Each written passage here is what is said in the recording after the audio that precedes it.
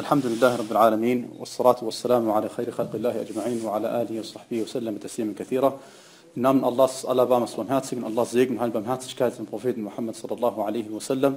Ich bezeuge, dass es keinen Gott gibt außer Allah und ich bezeuge, dass Muhammad Allahs Diener und sein Gesandter ist. Wer von Allah recht geleitet, wird es recht geleitet und du wirst niemanden finden können, der in die Irre leitet. Und wer von Allah in die Irre geleitet, wird es irre geleitet und du wirst niemanden finden können, der ihn recht leitet. Die besten Worte äh, sind die Worte Allahs und die beste Rechtleitung ist die Rechtleitung von Muhammad sallallahu alaihi wasallam. Und die übelsten aller Dinge sind die Neuerungen. Und jede Neuerung ist eine Erfindung, jede Erfindung ist ein Irrtum. Und jeder Irrtum führt letztendlich zur Hölle. Äh, liebe Geschwister, wir haben heute nach dem Wuchergebet uns über zwei wichtige Themen unterhalten, an denen wir jetzt anknüpfen möchten. Das erste Thema war, ähm, wenn man heiraten möchte, ähm, auf was man zu achten hat. Und wir haben über manche Aspekte darüber gesprochen. Wir haben gesprochen über die Khitbah, wie sie funktioniert. Und vielen Dank. Wie sie funktioniert, die Khutbah. Und ähm, welche Regeln man da beachten muss, welche Frauen man gegenüber den Heiratswunsch äh, eindeutig ausdrücken darf, welchen Frauen gegenüber man nur einen mehrdeutigen Heiratswunsch ausdrücken darf und welchen Frauen gegenüber man gar keinen Heiratswunsch ausdrücken darf. Das war, was wir hauptsächlich gesprochen haben. Und dann haben wir über die Bedingungen bei Eheverträgen gesprochen. Wir haben gesagt, dass es ähm, Bedingungen gibt, die Allah subhanahu wa ta'ala gesetzt hat. Die müssen auf jeden Fall erfüllt werden, sonst ist der Vertrag ungültig. Dann haben wir gesagt, es gibt Bedingungen, die aber die Vertragspartner selbst setzen. Der Mann oder die Frau, die den Vertrag eingehen, sie haben bestimmte Bedingungen, aus denen sie sich einen Nutzen erhoffen. Und diese Bedingungen stellen sie. Ähm, und diese Bedingungen sind entweder gültig oder ungültig. Wenn sie gültig sind, Alhamdulillah, wenn sie ungültig sind, dann ist entweder nur die Bedingung gültig und der Vertrag bleibt, nur die Bedingung ist ungültig und der Vertrag bleibt gültig, oder beides wird ungültig. Wir haben Nikah al-Tahlil, Nikah al-Shirar und Nikah al-Mut'a als Beispiele dafür erwähnt. Jetzt möchten wir uns unterhalten, nachdem wir diesen Ehevertrag eingegangen sind. Und jetzt bereuen wir, dass wir diesen Ehevertrag eingegangen sind. Und wir möchten diesen Ehevertrag wieder auflösen. Wie geht das? Äh, zur Barmherzigkeit Allahs subhanahu wa gehört es, dass er im Islam es gesetzlich gemacht hat, dass man genauso wie man sich wie man geheiratet hat, dass man auch wieder sich voneinander trennen kann. Denn die Scheidung ist eine Lösung für ein Problem, soll eine Lösung für ein Problem sein. Im Gegensatz zu Völkern vor uns, denen, äh, das, äh, bei denen es keine Scheidung gibt. Also es gibt bis heutzutage die katholischen Christen, bei ihnen gibt es Scheidung gibt es nicht. Religiös gesehen gibt es das nicht. Ja? Und deswegen gehört es zur Barmherzigkeit Allahs, dass er dieses Gesetz uns so erlassen hat. Alhamdulillah ähm, die Art der Scheidung im Islam, Scheidung jetzt im Deutschen ist ein Begriff für jede Art der Trennung von Mann und Frau. Im Islam unterscheiden wir zwischen verschiedenen Arten von Trennung. Okay? Wir unterscheiden zwischen verschiedenen Arten von Trennung. Und zwar von, wir unterscheiden zwei bzw. drei verschiedene Arten. Wir haben einmal Al-Talaq und als zweites haben wir Al-Fasq und als drittes haben wir Al-Khul'. Und ich werde gleich sagen, warum ich gesagt habe zwei oder drei, weil manche Gelehrte bezeichnen Al-Khul' als eine Art Talaq und manche Gelehrte sagen, Al-Khul' ist eine eigenständige Kategorie. Was das bedeutet, werden wir inshallah ta'ala im Laufe des Vortrages sehen. Fangen wir mit der ersten Kategorie an, mit Al-Fasq. Fasq auf Deutsch übersetzt bedeutet einfach Vertragsauflösung. Vertragsannullierung, Aufhebung. Wir haben vorhin von Bedingungen gesprochen, die gestellt werden bei Verträgen. Und jetzt wird interessant, jetzt, jetzt erkennen wir jetzt den Nutzen von diesen Bedingungen, die gestellt worden sind. Jede gültige Bedingung, die einer der Ehepartner gesetzt, gestellt hat, sie muss eingehalten werden. Sobald sie nicht eingehalten wird, hat derjenige, der in Bezug auf diese Bedingung verletzt worden ist, das Recht, den Vertrag aufzulösen. Er hat das Recht, den Vertrag aufzulösen. Machen wir ein Beispiel. Ein Mann verheiratet seine Tochter und hat Angst um sie. Und äh, weil er kennt, der Mann er hat ihn äh, kennengelernt, der seine Tochter heiratet, aber äh, er möchte auf Nummer sicher gehen und sagt, ich verheirate dich, äh, ich verheirate meine Tochter an dich unter der Bedingung, dass du ein Jahr lang in der Stadt bleibst, wo ich wohne gerade. er ist in Heidelberg und die Tochter ist in Heidelberg und der Mann kommt von außerhalb und er kommt hierher, aber er soll erstmal ein Jahr nach der Ehe in der gleichen Stadt bleiben. Warum? Weil er möchte sicher gehen, dass er sich um seine Tochter noch kümmern kann, falls es Probleme gibt und so weiter und so fort. Sobald der Mann dann umzieht und aus der Stadt rausgeht und sagt, nein, ich möchte zurück in meine Heimat gehen, ich habe eine Arbeit bekommen, nach einem Monat, nach zwei Monaten, nach drei Monaten, in diesem Moment, wo die, äh, in dem Moment, wo die Frau davon erfährt, hat sie das Recht, von ihrer Bedingung jetzt Gebrauch zu machen. Und sie kann sagen, Moment, ich möchte diesen Vertrag auflösen. Und der Mann kann nicht ihr Nein sagen, weil das ist eine Bedingung. Und der Prophet hat gesagt, Al-Muslimuna ala shurutihim. Die Muslime haben sich an die gestellten Bedingungen zu halten.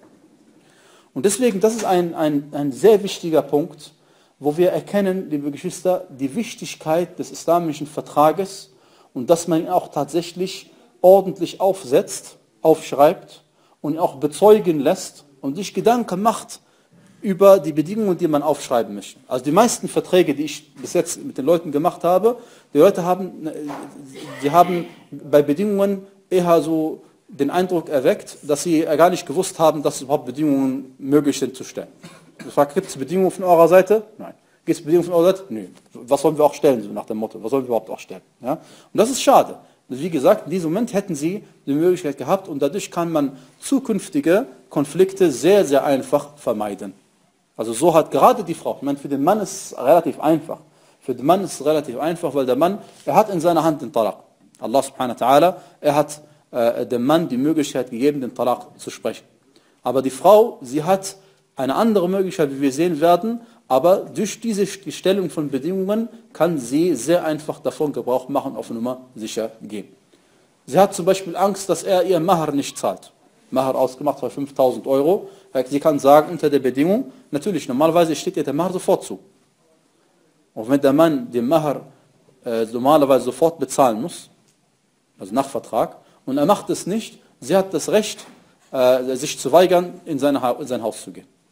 Sie hat das Recht zu sagen, ich möchte nicht mich ihm äh, äh, widmen, ich möchte nicht zu ihm umziehen in sein Haus, weil er hat mir mein Recht nur nicht gegeben. Ja? Deswegen, man kann von diesen Bedingungen, sie kann zum Beispiel sagen, äh, ich gehe diesen Ehevertrag ein unter der Bedingung, dass du mir diesen Mahar innerhalb von einem Jahr bezahlst. Wenn nicht, möchte ich das Recht haben, vom Vertrag auszusteigen. Ja? So kann man den anderen sehr gut dazu bringen, sich an diese Sachen auch wirklich zu halten. Wenn der Mann dann den Mahar nicht bezahlt nach diesem einen Jahr, sie kann sagen, ich verzichte drauf.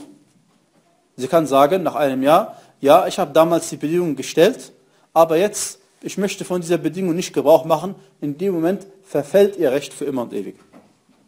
So einfach ist die Sache. طيب. Fasch ist kein Talaq. Was heißt das? Das bedeutet, Nummer eins, es wird nicht als einer von drei Talaq gewertet. Ihr wisst, der Mann kann zweimal die Frau widerruflich scheiden, Talqa Raj'iyya zweimal, und beim dritten Mal ist es Bainuna, das heißt, man kann sie nicht mehr zurücknehmen. Beim Fasch wird es nicht als ein Talaq gewertet. Das heißt also, es ist ein großer Nutzen darin, weil wenn die aufgebraucht sind, hat man ein Problem. Ähm, die zweite Sache, die sich daraus ergeht, durch den Fasch, mindestens, es gibt, es gibt, ergeben sich mehrere Regelungen, ja, aber das sind die wichtigsten, die man vielleicht in dem Moment sagen kann. Ähm, wenn der Fasch kein Talaq ist, ergibt sich auch nach dieser Vertragsauflösung keine Idda für den Talaq. Das heißt, diese Wartezeit, die wir normalerweise haben nach einem Talaq, ergibt sich daraus nicht. Ich werde, inshallah, wenn wir über Talaq sprechen, ausführlicher sagen, was diese Idda, wie lange sie dauert ähm, und, und wie man sie berechnet. Inshallah werde ich genauer darauf eingehen. Aber wichtig, es ist kein Talaq, also ergibt sich daraus keine Idda für einen Talaq, sondern es ergibt sich eine andere Idda, die für uns jetzt nicht relevant ist. Äh, drittens, der Talaq, den darf man nicht sprechen, wann man will. Es gibt Phasen, während man einen Talaq nicht sprechen darf, und ist haram. Der Fasch hat damit nichts zu tun. Der Fasch findet statt in dem Moment, wo die Bedingung nicht eingehalten worden ist. Egal wann. Das sind mindestens drei Sachen, die sich daraus ergeben, dass wir sagen, es ist ein Fasch und es ist kein Talaq. Es ist eine Vertragsauflösung und keine Scheidung im Namen, äh, als Talaq. Das sind die Sachen, die wir diesbezüglich sagen möchten. Jetzt, wie steht es um die Brautgabe, den Mahar? Dieser Fasch kann stattfinden, entweder vor dem Eingehen zur Frau, vor Duchul, oder danach. Wenn es vorher stattgefunden hat, steht der Frau nichts zu. Wenn es vorher stattgefunden hat, steht der Frau kein Mahar zu, sondern ihr steht eine, ähm, ihr steht eine Abfindung zu. Das heißt also, man, man soll ihr aus gutem, guten Charakter, gehört es zu einem Muslim, dass er einer Frau, wenn er sie geschieden hat, ein Geschenk gibt, eine Abfindung gibt. Ja?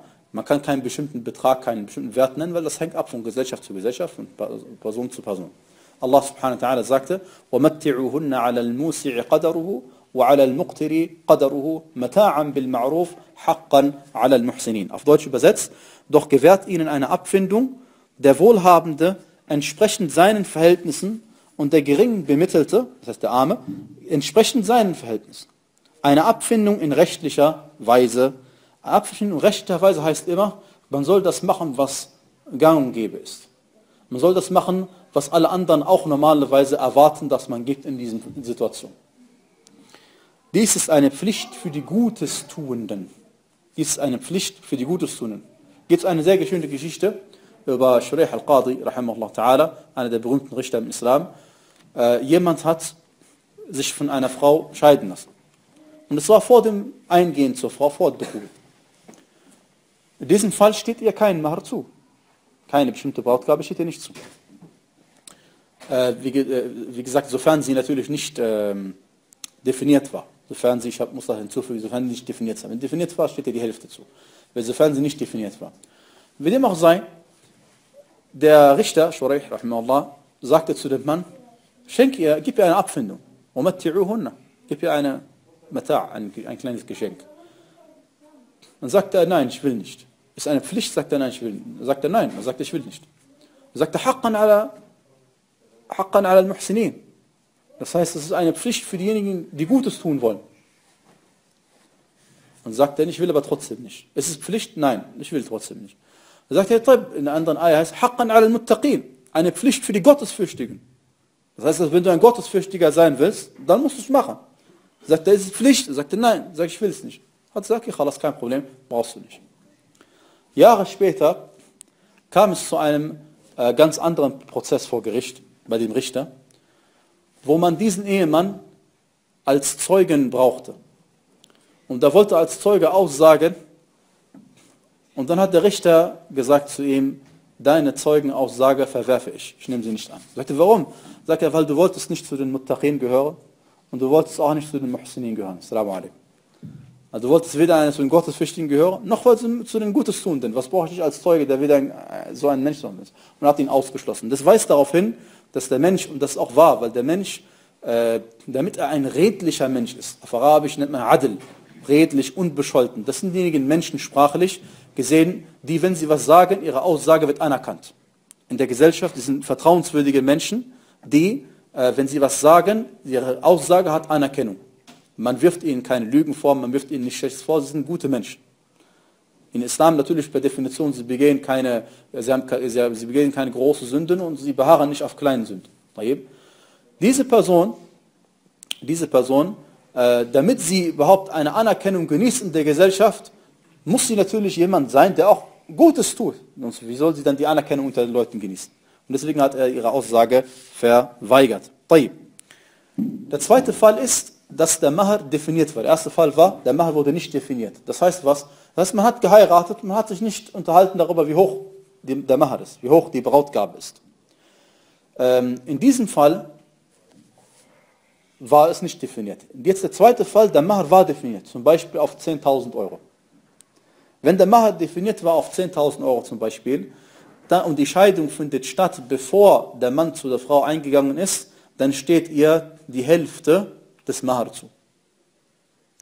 Und wenn nach dem Eingang natürlich steht der ganze Mahar zu, ist er logisch. So viel zum Fasach. Wir haben gelernt, der Fasach hat also in erster Linie was zu tun mit was? Hat zu tun mit den äh, Bedingungen, die gestellt worden sind in den Verträgen. Wir kommen jetzt zum zweiten Art, zur zweiten Art von Vertragsauflösung. Das ist At-Talaq. At-Talaq, liebe Geschwister, bedeutet, dass der Mann selbst die Scheidung ausspricht. Und das ist eine Sache, muss man sehr aufpassen, weil der Mann kann dadurch äh, seine Familie ruinieren. Denn wenn er die Scheidung ausspricht und sagt, meine Frau so und so ist geschieden, ist taliq oder ähnliches, dann das ist ein Wort, das man nicht mehr zurücknehmen kann. Und kein Gelehrter der Welt kann das mit ihnen sagen, er kann das ihm wieder rückgängig machen. Das geht nicht. Und deswegen muss man sehr aufpassen. Dieser Talaq soll eine Lösung für Probleme sein und soll keine Probleme erschaffen. Dieser Talaq ist von dreierlei Art. Es gibt drei Arten von Talaq. Die erste Art ist der Talaq al-Sunni. Das heißt der Talaq, der mit der Sunna des Propheten übereinstimmt. Der zweite Talaq ist der Talaq al-Bid'i. Das ist der Talaq, der nicht mit der Sunna des Propheten übereinstimmt und ihr sogar widerspricht. Und der dritte Art von Talaq ist der Talaq, der weder Sunni ist noch Bid'i. Das heißt, er ist weder eine Sunna des Propheten noch ist es haram, noch ist es eine Bid'a, äh, äh, aber er ist in Ordnung. Er ist in Ordnung und rechtskräftig und unproblematisch. Aber wenn man Belohnung haben will, macht man es nach der ersten Art, nach der Talaq äh, al-Sunni. Was bedeutet Talaq Sunni, Bid'i und weder noch? Warum, brauchen wir, warum sollten wir das wissen? Das ist ein wichtiges Thema, weil, wir, äh, äh weil auch wenn man sich trennt, genau wenn man geheiratet hat, gemäß dem Koran und Sunna, soll man sich auch wieder, wenn man sich trennt, gemäß Koran und Sunna trennen. Der Talaq al-Sunni ist der Talaq in Bezug auf eine Frau, zu der man bereits eingegangen ist.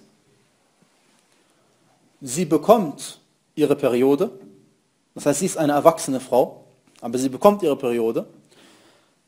Ähm, und er findet statt in einer Phase, in der sie keine Periode hat, in der sie keine Periode hat, oder das heißt, in der sie keine Periode hat, das heißt, sie ist rein und es hat kein Geschlechtsverkehr stattgefunden. Nochmal, das ist eine Frau, die ihre Periode bekommt, das heißt, sie ist erwachsen. Das meint man damit. Man meint damit, sie ist nicht zu klein und sie ist nicht, das heißt, sie ist nicht zu klein, dass sie noch keine Periode bekommt und sie ist nicht zu alt, dass sie schon äh, keine ihre Periode, ihre Periode nicht mehr bekommt. Diese Frau wenn man schon zu ihr eingegangen war, also in der Regel, das die, das ist der Regelfall, und sie befindet sich in einer Reinheitsphase, Tuhur auf Arabisch, und in dieser Phase hat kein Geschlechtsverkehr stattgefunden, das ist At-Talaq as-Sunni. Das ist At-Talaq as-Sunni. Mit anderen Worten, du kannst daraus Schlussfolgern, du darfst eine Frau nicht scheiden lassen, Talaq machen, während sie ihre Periode hat. Während der Menstruation, während der Haid, ist es haram, dass man das macht.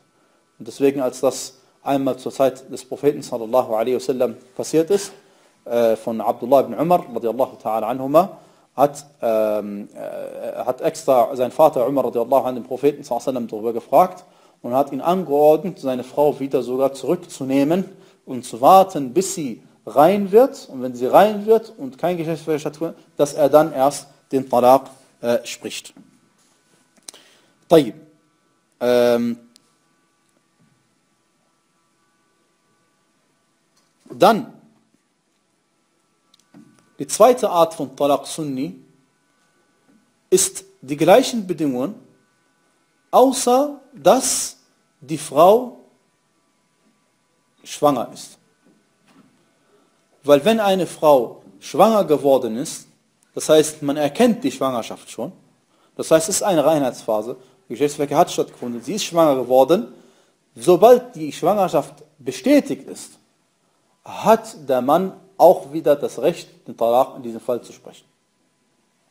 Die Idda ist dann anders, darüber reden wir vielleicht ein anderes Mal, aber, oder die Idda ist in diesem Fall, bis sie ihr Kind zur Welt bringt und nicht eben drei Zyklen, wie wir nachher sehen werden, aber die, er hat das Recht, wenn es eine Reinheitsphase war und Geschlechtsverkehr stattgefunden hat, den Talak zu sprechen unter der Bedingung, dass die Schwangerschaft festgestellt worden ist. Mit anderen Worten ist es sichtbar, dass sie schwanger geworden ist. In diesem Zusammenhang ist es für den Gelehrten eine Selbstverständlichkeit, aber für viele Leute leider keine Selbstverständlichkeit, dass der Talaq nur einmal gesprochen werden darf. Der Talaq darf nur einmal gesprochen werden. Es ist haram und eine Bid'a und verboten, dass ein Mann zu seiner Frau sagt, du bist dreifach geschieden. Die Katastrophe ist, dass manche Leute sogar denken, dass das so sein muss. Manche Leute sagen, ich dachte, man muss das so machen. Das ist verboten. Der Prophet sallallahu alaihi wasallam, als das passiert ist, hat er gesagt, spielt ihr etwa mit dem Buche Allahs noch während ich unter euch wohne? Die Sunna ist, dass man, wenn man den Talak spricht, die Bedingungen eigentlich gesagt habe und dass man es genau ein einziges Mal sagt. Du bist Tariq, das war's. Und natürlich, dass man das auch bezeugen lässt von zwei muslimischen, äh, redlichen Männern. Die zweite Art von Talaq ist Al-Talaq al-Bid'i. Al-Talaq al-Bid'i ist derjenige Talaq, der stattfindet, wenn die Frau ihre Periode hat. Das ist Haram und eine Bid'a. Und die allermeisten Gelehrten sagen, dass er trotzdem gilt als Strafe für denjenigen, der das gemacht hat.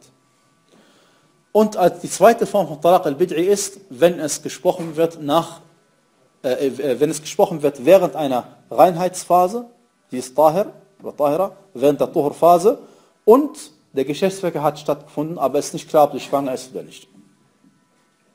Das ist der zweite, das ist die zwei, der zweite Fall von Talaq Bid'i, wo es haram ist, dass man den Talaq spricht. Ähm, dann gibt es die dritte Kategorie, haben wir gesagt, von Talaq. Wenn er gesprochen wird, das, das die dritte Kategorie ist, wenn es weder Bid'i ist noch Sunni ist. Das ist der Talaq, der stattfindet, bevor man zur Frau eingegangen ist. Beispiel, man heiratet eine Frau und äh, noch bevor man zu ihr gegangen ist, trennt man sich sofort von ihr und sagt, du bist Talaq. Das nennt man Talaq, weder Sunni noch Bid'i. Dieser Talaq ist gültig und gilt auch sofort. Der zweite Fall ist, wenn man den Talaq spricht zu einer Frau, die gar keine Periode bekommt. Das heißt also, weil sie noch zu jung ist oder weil sie noch zu alt ist. Jetzt haben wir drei Kategorien kennengelernt. Natürlich, der Einfachheit halber, fassen wir nochmal zusammen. Der Regelfall ist, auf jeden das als der Einfachheit halber, der Regelfall ist für einen Muslim, wenn er äh, äh, äh wer es, den Talaq sprechen möchte, empfehlen wir ihm natürlich erst einmal die bekannten Instanzen zu durchlaufen, dass man nicht äh, die, das zu voreilig macht. Man soll sich beraten lassen, man soll gucken, wie man den Konflikt löst und so weiter und so fort, aber das ist nicht unser Thema. Aber wenn er sich entschieden hat, dann soll er warten. Gucken, bis die Frau Tahira ist, bis sie rein ist und in der Phase, wo kein Geschlechtsverkehr stattgefunden hat, in diesem Fall holt er sich zwei muslimische männliche äh, äh redliche Zeugen und spricht den Talaq vor ihnen ein einziges Mal aus. Was ergibt sich daraus? Daraus ergibt sich, dass jetzt eine Idda beginnt. Die Idda ist jetzt die Nachphase, wie wir gesagt haben, die Nachphase der Ehe. Die Frau gilt in dieser Nachphase der Ehe noch als rechtmäßige Ehefrau. Sie gilt als Ehefrau. Wie Allah sagte, وَبُعُولَتُهُنَّ أَحَقُّ بِرَدِّهِنَّ في ذلك إن أرادوا إصلاحا. Das heißt, und ihre Ehemänner haben eher Anrecht darauf, sie wieder zurückzunehmen, wenn sie Frieden stiften wollen. Und hat Allah hat diesen Mann als Ehemann bezeichnet, obwohl er den Talaq Raj'i, diesen widerruflichen, diese widerrufliche Scheidung schon gesprochen hat. Jetzt, in dieser Phase, wie lange dauert diese Phase? Die Gelehrten sind unterschiedlicher Ansicht, ähm, wie lange diese Phase, wie diese Phase berechnet wird. Allah subhanahu wa ta'ala sagt im Koran al-Karim, والمطلقات يتربصن بأنفسهن ثلاثة قروء Dieses Wort Quru in der arabischen Sprache kann zwei Sachen bedeuten. Entweder Reinheitsphasen oder Periodenphasen. Sprachlich gesehen, beides kann man verstehen darunter. Und dementsprechend, wenn wir sagen, damit sind die Periodenphasen gemeint, würden wir die Periode, und es sind drei, wie Allah sagte, drei Quru, also äh, ich habe das nicht auf Deutsch übersetzt, ne? was, äh, äh, die Eier sinngemäß bedeutet, diejenigen Frauen, äh, die geschieden worden sind, sie sollen drei Quru abwarten. Und das Wort, die Frage ist jetzt, was Quru bedeutet. Quru, haben wir gesagt, bedeutet entweder Reinheitsphasen oder Periodenphasen. Wir gehen jetzt mal vom ersten Fall aus, dass damit Periodenphasen gemeint sind. Dann zählen wir, wir wollen auf drei kommen. Wir sind jetzt gerade in einer, was für einer Phase? Die Scheidung gesprochen, in was für einer Phase? Ha? Tahara, in einer Reinheitsphase wurde es gesprochen. Und wir gehen davon aus, dass sie nicht schwanger ist, okay? Das heißt, es wurde in einer Reinheitsphase gesprochen. Erzählen wir, dass es die, die Reinheitsphase interessiert uns jetzt als Zahl nicht, weil wir wollen drei Perioden zählen, nach dieser Ansicht. Also warten wir, bis ihr ihre Periode bekommt. Zum ersten Mal, dann wird sie wieder rein. Dann bekommt sie ihre Periode zum zweiten Mal, dann wird sie wieder rein. Dann bekommt sie ihre Periode zum dritten Mal und dann, sobald sie wieder rein wird, sobald sie wieder rein wird, ist sie dann endgültig geschieden. Das heißt, diese, manche Leute sagen drei Monate, es sind nicht drei Monate, ähm, drei Monate sind es für eine Frau, die keine Periode bekommt, weil die Zunge dazu alt ist. Okay? Aber hier, das, ist keine, das sind keine drei Monate ganze. Es kann mehr oder weniger sein, je nachdem. Okay? Also sind mal ein paar Tage mehr, mal ein paar Tage weniger, je nachdem, wann die Scheidung gesprochen wird. Ja? Aber hier haben wir ähm, ein Beispiel, wenn wir von den, äh, von, von den Perioden ausgehen. Drei. Natürlich, die Gelehrten besprechen auch die anderen Fälle. Ja, es gibt Frauen, die äh, keine Periode bekommen, wie wir gesagt haben, äh, aufgrund von Schwangerschaft. Das, wir wollen jetzt einen typischen, klassischen Fall und das andere lassen wir für die ausführlicheren Vorträge oder Bücher. In dieser Phase, haben wir gesagt, gilt die Frau als Ehefrau. In dieser Phase hat der Mann jederzeit das Recht, vor zwei Zeugen diese Frau wieder zurückzunehmen. Wie geht das? Ganz einfach. Er sagt, ich möchte die Frau wieder zurücknehmen. Irgendwas soll er sagen, was darauf hinweist, dass er diese Entscheidung zurücknehmen möchte. Das darf er. In dieser Phase. Wenn er das macht, dann ist es, ist es wieder ganz normal seine rechtmäßige Ehefrau und es wird ihm eine Scheidung gut geschrieben, schlecht geschrieben. Also einmal hat er dann sich von ihr scheiden lassen. Egal, ob er sie zurücknimmt oder nicht zurücknimmt. Es gilt als eine Scheidung, solange, sobald er es gesprochen hat. Ähm, während dieser Phase darf die Frau auch nicht das Haus in Anführungsstrichen verlassen, in dem Sinne, dass sie sagt, ich ziehe um, ich gehe zurück zu meinen Eltern oder ähnliches. Warum? Weil Allah subhanahu wa ta'ala extra diese Phase äh, es, äh, gemacht, damit man sich besinnt und damit man versucht, wieder zusammenzukommen. Und es ist bekannt, äh, je, je, je, länger man auseinanderlebt, je länger man voneinander weglebt, desto eher lebt man auseinander tatsächlich und wird unabhängig voneinander. Deswegen ist es eine verankerte Sache im Koran Karim, äh, wo das Allah subhanahu wa ta'ala sagte in Surat Al-Talaq, لا تخرجوهن من بيوتهن ولا يخرجن لا تخرجوهن من بيوتهن ولا يخرجن Das heißt, ihr sollt sie nicht aus euren Häusern vertreiben und sie sollen auch nicht ihre Häuser verlassen. Ganz klar im Koran, Surat al-Talaq sogar. طيب.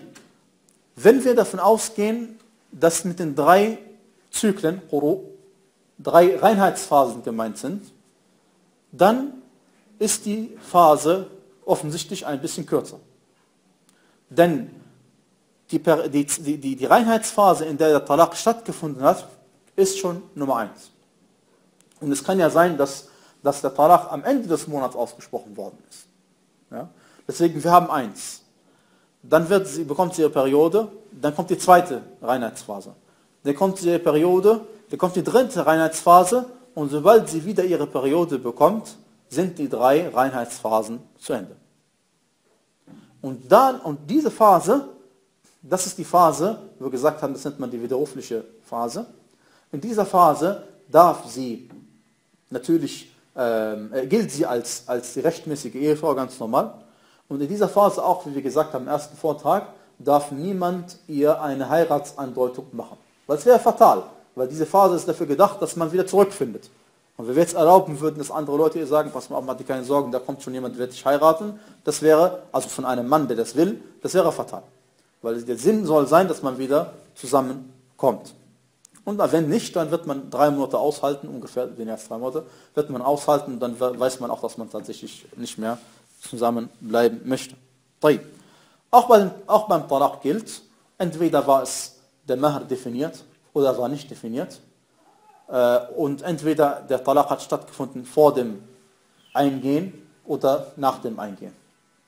Allah subhanahu wa ta'ala sagte, Ja ayyuhalladhina amanu, idha tallaqtumul mu'minati إذا نكحتم المؤمنات ثم طلقتموهن من بعد إذا نكحتم إذا طلقتم يا أيها الذين آمنوا إذا نكحتم المؤمنات ثم طلقتموهن من من قبل أن تمسوهن فما لكم عليهن من عدة تعتدونها. Das heißt, oh, die ihr glaubt, wenn ihr die gläubigen Frauen geheiratet habt und ihr euch dann von ihnen scheiden lasst, noch bevor ihr sie berührt habt, äh, dann ähm, gebt ihnen eine Abfindung. Vermatti'uhunna. Äh, das heißt, gebt ihnen eine Abfindung. Das heißt, es ist, äh, wie heißt es, Entschuldigung, die Eier heißt, فَمَا عَلَيْهِنَّ مِنْ عِدَّةٍ تَعْتَدُّونَ Das, was ich meine. Das heißt, dann gibt es keine Wartezeit, die ihr abwarten müsst. Dann gibt es keine Wartezeit, die ihr abwarten müsst. Die Wartezeit beginnt erst, wie gesagt, nach dem Duchul. Und sie ist in dem Fall, wie wir gesagt haben, dass die Frau ihre Periode bekommt, drei Zyklen.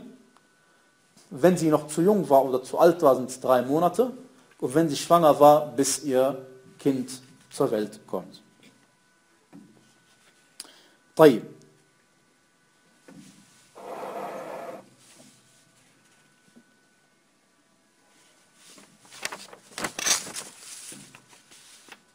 Da kommen wir zum dritten, zum dritten Fall. Der dritte Fall ist der, äh, vielleicht äh, auch ein wichtiger Fall, ist Al-Khul'. Der dritte Fall ist Al-Khul'. Al-Khul', liebe Geschwister, ähm, auf Arabisch bedeutet unter anderem ausziehen. Und gemeint ist, ihr wisst ja, Allah sagt im Koran Karim, Hunna libasun lakum wa antum libasun lahun. Okay? Das heißt, äh, ungefähr übersetzt, sie sind euch ein Kleid und ihr seid ihnen ein Kleid. Weil man ist füreinander da, man beschützt sich gegenseitig und so weiter und so fort, alles, was dieses Wort äh, impliziert an Bedeutungen. Und Khul' bedeutet, dass man dieses Kleid wieder ausziehen möchte. Okay? Und die Frau hat im Islam dieses Recht bekommen, das zu sagen, das, äh, das zu äh, verlangen. Und dieser Khul' hat stattgefunden, auch zur Zeit des Propheten sallallahu alaihi wasallam. Und das weist darauf hin, dass die Sahaba radiallahu ta'ala anhum, auch wenn sie die besten Menschen gewesen sind, kann es hin und wieder dazu kommen, dass man sich nicht versteht. Das heißt, auch ein gläubiger Mann und eine gläubige Frau, der hat Iman, der hat Iman, der betet und der betet alles religiös, trotzdem kann es sein, dass man sich nicht versteht. Es ist nichts Abwegiges, es kann passieren und ist auch keine Schande, weil wir gesagt haben, solche Sachen sollen ja eine Lösung für Probleme sein und sollen sie ja nicht äh, etwa erschaffen. Ähm, hier ist wichtig natürlich anzumerken, dass eine Frau Al-Khul' nur verlangen darf, wenn es wirklich einen äh, äh, guten Grund dafür gibt. Einen wirklich guten Grund dafür gibt. Weil der Prophet sallallahu alaihi wasallam sagte, أيما امرأة سألت زوجها الطلاق من غير ما بأس فحرام عليها رائحة الجنة. Das heißt, sinngemäß übersetzt, Thawban berichtet, dass der Gesandte Allah gesagt hat, einer Frau, die von ihrem Ehemann die Scheidung ohne bedeutenden Grund verlangt, ist der Geruch des Paradieses verboten. Und wenn man sagt, der Geruch des Paradieses ist verboten, das heißt, das ist ein Ausdruck dafür, dass sie nicht nur nicht ins Paradies kommt, sondern dass sie sogar weit davon entfernt bleiben wird. Und das ist eine harte Drohung. Ähm, was das konkret bedeutet, ist das Thema der Aqidah nicht bei uns jetzt hier. Wir reden über dies. Wir wissen, wir, wir entnehmen daraus, dass es haram für sie ist, die Talaq zu verlangen, ohne rechtmäßigen Grund. Jetzt wollen wir natürlich wissen, was sind rechtmäßige Gründe. Aber das Problem ist, liebe Geschwister, man kann nicht eine Liste schreiben und sagen, Nummer 1, Nummer 2, 3, 4, 5, 6, 7, das sind die Gründe, und dann ins Internet stellen und dann die Frauen kommen zur Moschee und sagen einmal Nummer 3 und du sagst einmal Nummer 4, äh, ich Nummer 5 und Nummer 6. Das klappt nicht, weil wir wollen den Leuten ja keinen Grund geben, sowas zu machen, sondern wenn jemand, äh, wenn eine Frau schon kommt, im Islam zum Richter kommt und diese, diesen Schritt macht, das heißt, äh, das ist eine gewaltige Sache. Nicht jeder geht wegen einem Problem gleich zu Gericht. Aber wenn eine Frau es sich überwindet, zum Gericht zu gehen und die Scheidung zu verlangen, das heißt, da ist schon viel passiert. Und deswegen ist es hier in diesem Fall, jetzt spreche ich natürlich den Richter an und nicht den Imam der Moschee und so. Deswegen ist in diesem Fall der Richter ist angehalten, ihrer Aufforderung sofort nachzukommen, wenn ihre Aufforderung richtig ist. Sofort. Das heißt, ein Richter hat nicht das Recht, in diesem Moment, wenn die Frau kommt und den Khul' möchte, diesen Talak sozusagen möchte von ihrerseits, er hat nicht das Recht, sie hinzuhalten. Er hat nicht das Recht zu sagen, komm, wir versuchen erstmal was zu... Das darf er nicht. Weil er ist Richter und er ist kein Friedensstifter. Wenn es um Friedensstiftung geht, geht man zum Imam der Moschee, zum Stammeshäuptling, zum Ältesten der Familie oder zum Vater, äh, zum Schiegervater oder ähnliches. Aber wenn es um so etwas geht zu Gericht, dann der Richter muss gemäß dem Recht urteilen. Und deswegen der Prophet sallallahu alaihi wasallam hat das auch gemacht in einer sehr äh, berühmten Begebenheit. Und ich lese euch äh, den Hadith des Propheten einmal vor, der es folgendes heißt, äh, Aisha berichtet, dass Habiba, die Tochter von Sahal, bei Thabit ibn Qais war. Es geht also um Habiba und Thabit ibn Qais radiallahu anhuma. Er schlug sie und brach ihr dabei etwas. Daraufhin ging sie nach dem Morgengebet, nach dem Fajr-Gebet zum Gesandten Allahs, sallallahu alaihi wasallam, und beschwerte sich bei ihm über ihn.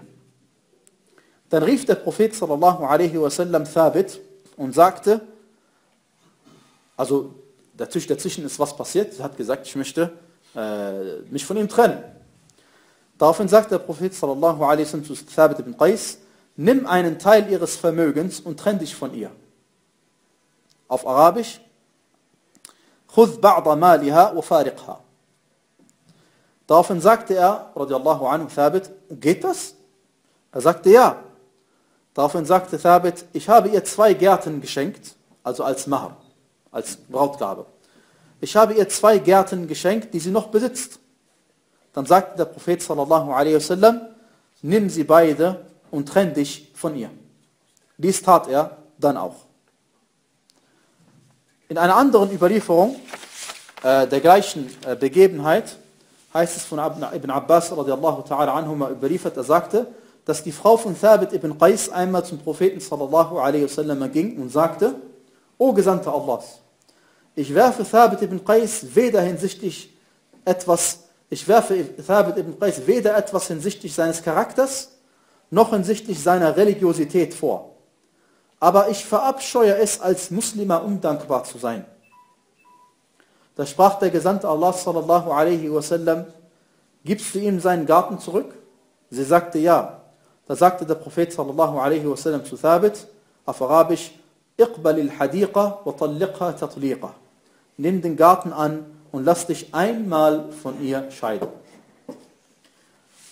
Aus diesem Hadith äh, was bedeutet es? Sie sagte im Arabischen heißt es, äh, äh auf Arabisch heißt Ma a'tibu alayhi fi khuluqin wala walakinni akrahu al-kufra fil Islam. Die Gelehrten haben gesagt, gemeint ist, Kufr heißt ja unter anderem auch undankbar sein. Und gemeint ist, haben Gelehrten, die Erläuterung des Hadiths unter anderem gesagt, dass sie, ihr, dass sie ihrem Ehemann gegenüber Angst hat, die Pflichten nicht erfüllen zu können. Denn zur Dankbarkeit gehört es, dass sie ihren Ehemann äh, äh, gegenüber aufrichtig ist, dass ihm Ehemann gegenüber freundlich ist, dass ihm gegenüber äh, zu, zur Seite steht und ihm hilfsbereit ist und so weiter und so fort. Und sie, weil sie irgendetwas an ihm nicht mochte, hat sie Angst, dass ihr ihre Pflicht als Ehefrau nicht mehr erfüllen kann. Und deswegen hat sie diese Sache verlangt. Und hat der Prophet gesagt, komm, wir versuchen uns nochmal, lass uns erstmal zusammen reden und schauen wir, wie die Sache läuft. Nein, weil der Prophet a.s. man nennt es auf Arabisch, Shakhsiyat al-Rasul, ist unterschiedlich. Der Prophet sallallahu wenn er spricht, und eine sehr wichtige und interessante Thematik im Fiqh, wenn der Prophet sallallahu spricht, dann spricht er manchmal als Prophet. Und manchmal spricht er als Richter. Und manchmal spricht er in Anführungsstrichen als gewöhnlicher Mensch. Und das ist sehr interessant. Weil als zum Beispiel eine Frau einmal zum Propheten kam und ihn äh, äh, sich, bei ihrem, sich beim Propheten beschwert hat, sallam, dass ihr Ehemann ihr nicht genug Geld gibt. Vielleicht kennen viele von euch die Begebenheit. Daraufhin hat der Prophet sallam, zu ihr gesagt, Nimm dir einfach von deinem Ehemann, was genau dir und deinen Kindern reicht. Nimm dir gerade so viel, wie du brauchst. Nicht mehr, nicht weniger. Und so hat er ihr erlaubt, das zu machen.